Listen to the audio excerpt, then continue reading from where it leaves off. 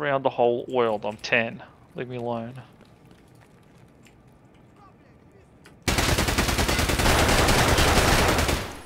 I wonder if Aggron looks sick with Snorlax, which is cursed as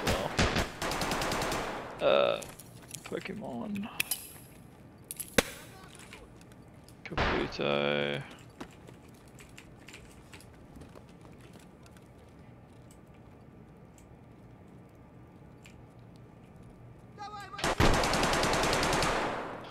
Kaputou. This, this, this.